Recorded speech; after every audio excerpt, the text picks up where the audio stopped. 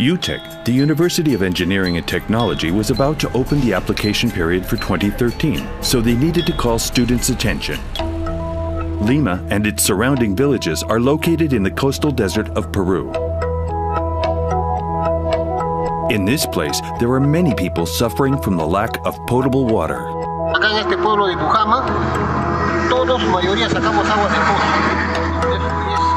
No, es, no es agradable y es contaminado. The presence of rain in this region is almost zero, but the atmospheric humidity is about 98%. Inspired by this, we worked as a team, UTEC and the agency, to build the first billboard that produces drinking water out of air. The billboard has a unique technology that captures the air humidity and turns it into drinking water. Cada generador eh, atrapa lo que es la humedad del ambiente. De ahí pasa un sistema de osmosis inversa. Cada tanque almacena el promedio de 20 litros. Las cinco máquinas van a hacer este proceso y se va a almacenar todo en un solo tanque. The billboard has already produced thousands of liters of drinking water. That equals the water consumption of hundreds of families per month. ¿No? Que pongan en diferentes lugares, ¿no?